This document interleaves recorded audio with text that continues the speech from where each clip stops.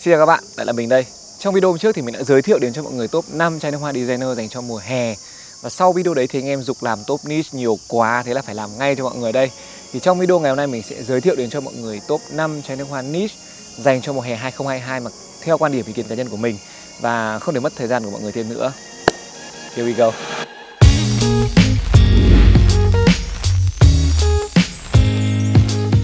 Chai nước hoa đầu tiên của ngày hôm nay James Minty Man. Minty Man là một mùi hương tới từ nhà nước hoa niche của Mỹ, Dame Perfumery. Chắc chắn nhiều bạn đang xem video này sẽ cảm thấy lạ lẫm và chưa từng nghe qua về Dame Perfumery phải không? Thì mình sẽ giới thiệu ngắn gọn. Đây là một hãng nước hoa niche mà mình thấy có những mùi hương làm khá là tốt với mức giá cực kỳ phải chăng, chỉ khoảng trên 2 triệu cho chai 100ml. Hiện tại thì các bạn hoàn toàn có thể ghé những cơ sở của XXV Store để có thể trải nghiệm những mùi hương của nhà nước hoa này nhá. Quay trở lại với Minty Man. Chỉ cần nghe cái tên thôi là các bạn có thể phần nào đoán được mùi hương của nó rồi, đúng không? Minty Man, một mùi hương với chủ đạo là bạc hà. Ấn tượng đầu tiên của mình khi ngửi trên nước hoa này đó là nó vừa làm cho mình cảm giác giống như là đang uống một ly trà đi ma bạc hà mát lạnh. Lại vừa giống việc chúng ta bóc một thanh double mint mới ra, xong rồi cho vào miệng nhai, cái cảm giác mát lạnh nó ập đến rất là thú vị, đúng không nào? Và trên thực tế thì nốt hương bạc hà nghe chừng có vẻ đơn giản nhưng thực tế nó lại không hề dễ làm một chút nào cả có nhiều chai làm bạc hà nếu như mà làm bị quá tay ấy, thì nó sẽ tạo một cảm giác giống như mùi hương của một uh, mùi kem đánh răng vậy. Và may thay ở đây với đêm họ đã xử lý cái nốt hương bạc hà rất là vừa phải rất là vừa vặn. Nó ngửi man mát xanh ngát và dễ chịu. Và trong cái opening như thế này, nếu như các bạn tinh ý thì các bạn cũng sẽ nhận thấy sự xuất hiện của trà mết và một chút hương cam. Nhưng mà không rõ ràng lắm đâu, bởi vì có vẻ như hai nốt hương này nó chỉ góp phần cho việc bạc hà ở Minty Man nó không bị quá fresh, mà cân bằng ở mức vừa phải. Về sau thì bạc hà nó dịu dần đi, lúc này thì trà mết nó xuất hiện nó rõ ràng hơn. Cảm giác như mùi hương nó có phần nó ngọt nhẹ và nó hơi có một chút đắng đắng một tí xíu thôi. Nó sẽ làm cho các bạn liên tưởng tới mùi hương của một cốc trà sữa, nhưng mà trà sữa đây là một cái cốc trà sữa mà ít ngọt nhất có thể. Và một trong những điều làm mình thích ở Minty men đó là bạc hà trong chai nước hoa này, nó sẽ theo cái kiểu mà thoát ẩn, thoát hiện. Lúc thì phai phai mờ mờ, lúc thì lại phừng phực lên rất là rõ, nó làm cho mùi hương rất là sống động. Khen xong rồi đúng không? Bây giờ sẽ là chê đây này. Điểm yếu duy nhất của Minty men đó là khả năng lưu mùi của nó không được quá tốt trên da của mình nó chỉ lưu được khoảng tầm 4 tiếng thôi. Da thì đây cũng là một điều khá là dễ hiểu với một mùi hương kiểu như thế này. Còn nhìn chung thì Minty Man là một chai nước hoa niche mùa hè khá là hay ho. Chắc chắn một điều là nó khá là lạ mũi, khó bị đụng hàng, mức giá dễ tiếp cận.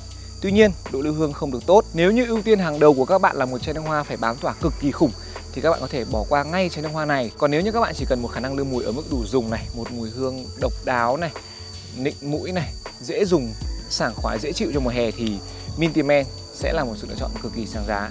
Mùi hương thứ hai của ngày hôm nay, Flamenco Neroli của nhà Lorques. Lorques cũng là một nhà nước hoa khá mới lạ đối với người dùng ở Việt Nam. Nói sơ qua thì đây là một hãng niche của Pháp mới ra đời vào năm 2017 và đến nay thì đã cho ra mắt 10 mùi hương. Trong tiếng Pháp thì Lorques có nghĩa là giàn nhạc giao hưởng và đây cũng chính là concept mà hãng hướng tới với thông điệp là mỗi mùi hương nước hoa là một bản giao hưởng của các nốt hương. Còn về mùi hương thì sao nhỉ? Cùng xịt ra nhá.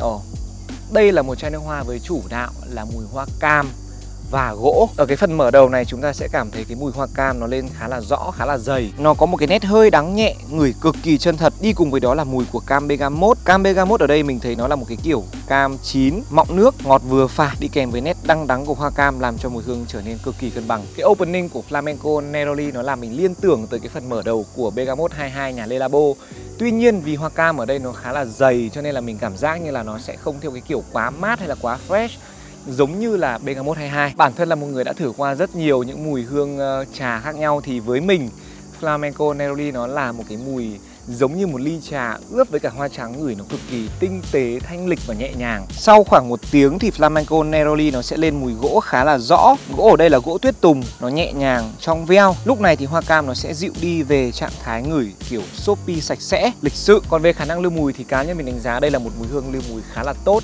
Mình đã thử liên tục chai nước hoa này trong khoảng 2-3 tuần thì mình thấy nó lưu trên da của mình được khoảng tầm 7 đến 8 tiếng khá là ấn tượng đúng không nào? Và với quan điểm cá nhân của mình thì đây sẽ là một mùi hương phù hợp dành cho những bạn nam tìm kiếm một mùi niche theo kiểu sạch sẽ, nhẹ nhàng, thanh lịch và lưu hương ổn, phù hợp với môi trường văn phòng. Chai số 3 của ngày hôm nay, Rosa Elysium. Elysium thì ra mắt vào năm 2017 và rất nhanh chóng đã được cộng đồng nước hoa đặt lên bàn cân so sánh với cả Creed Aventus rất nhiều. Cá nhân mình thấy thì Creed Aventus và Rosa Elysium nó có nét tương đồng Tuy nhiên không đủ nhiều để mà coi là giống nhau được. Mở đầu của Elysium sẽ là một tổ hợp cam chanh bưởi, ngửi cực kỳ sang trọng và nịnh mũi. Nó có nét vui tươi, tràn đầy sức sống. Có lẽ là với một phần mở đầu như thế này thì đúng là nó làm cho người ta liên tưởng tới Creed Aventus thật. Tuy nhiên, càng về sau thì mùi hương nó sẽ theo đi một cái hướng càng khác. Chỉ khoảng sau 30 phút thôi thì chúng ta sẽ thấy long diên hương lên khá là rõ và nổi bật. Cảm giác nó ấm ấm, nó ngọt nhẹ, rất là bắt mũi. Đi kèm với cỏ hương bài nó hơi kiểu smoky, tạo nên một cảm giác cực kỳ nam tính và lịch lãm. Về sau thì mùi hương nó không biến chuyển quá nhiều. Và cái điều làm cho mình rất là tâm đắc ở Elysium đó chính là long diên hương ở đây ngửi nó rất là sang nó rất là quấn mũi, một cái điều mà không không nhiều chai nước hoa làm được. Và kể cả nếu như so sánh với Creed Aventus thì với những batch từ cuối 2019 về sau thì cá nhân mình sẽ thiên về Elysium hơn. Tuy nhiên, chai nước hoa này cũng chỉ bám tỏa ở mức trung bình thôi. Trên da của mình thì nó sẽ tỏa tốt nhất sau khoảng 2-3 tiếng đầu sau đấy thì nó sẽ ở dạng skin sen khoảng tầm ờ, 4 đến 5 tiếng. Và tổng kết lại thì Elysium là một chai nước hoa mùa hè mùi rất là ngon, người sang trọng, đẳng cấp đúng nghĩa rosa. Tuy nhiên, khả năng bám tỏa chưa thực sự quá khủng. Nhưng một lần nữa, chúng ta không được phép đòi hỏi quá nhiều với một tổ hợp mùi hương như vậy đúng không? Chai nước hoa số 4 của ngày hôm nay, Sergio Mephisto. Mephisto thì nó luôn nằm trong top những chai nước hoa niche mà cá nhân mình yêu thích nhất từ trước đến giờ đặc biệt là vào thời tiết mùa hè. Review chi tiết về chai nước hoa này thì các bạn có thể xem lại video cũ mình làm ở năm ngoái. Còn nói nhanh về mùi hương này thì đây là một chai nước hoa với chủ đạo là citrus và hoa tím làm cực kỳ xuất sắc. Mình xin nhắc lại là cực kỳ xuất sắc nha. Và từ trước tới nay thì Serjov luôn là một trong những tượng đài trong làng nước hoa đương đại khi nói về mùi hương citrus rồi. Và citrus ở trong Mephisto nó làm rất là chắc tay Nó có một cái nét gì đấy nó rất là tự nhiên, rất là độc đáo. Về sau thì citrus nó dịu xuống Nó làm nền cho hoa oải hương và hoa diên vĩ. Nó vẫn giữ cho tổng thể mùi hương dễ chịu mát mẻ và nịnh mũi. Đặc biệt là mình thấy Mephisto nó toát lên một cái vẻ nam tính đậm chất người Ý. Các bạn cứ tưởng tượng ra những ông những ông ờ, rất là lãng tử giống như kiểu là Pablo Mandini hay là Ờ, uh, Pirlo khi mà lên đồ ấy nó sẽ là như vậy. Ngoài ra thì Mephisto cũng lưu mùi rất là tốt, nó lưu trên da của mình được khoảng 7 đến 8 tiếng. Nhìn chung là đây là một chai hoa mà cá nhân mình cực kỳ tâm đắc, đặc biệt là với thời tiết mùa hè. Chai hoa cuối cùng của ngày hôm nay và cũng là một chai hoa mà mình cực kỳ mê mẩn. Megame của Otto Parisi. Kể từ khi ra đời vào năm 2019 cho tới nay thì Megame luôn luôn trong tình trạng cháy hàng và trở thành mùi hương bán chạy nhất của nhà Otto Parisi. Và với cá nhân mình, đây là một chai hoa hay thật sự một chai nước hoa với chủ đề về biển mà cá nhân mình có thể gọi là yêu thích nhất. Mình vẫn còn nhớ cái lần đầu tiên mà mình trải nghiệm mùi hương này thì nó thật sự làm cho mình cực kỳ phấn khích. Và ngày hôm nay, mình nghĩ là mình sẽ xịt mùi hương này.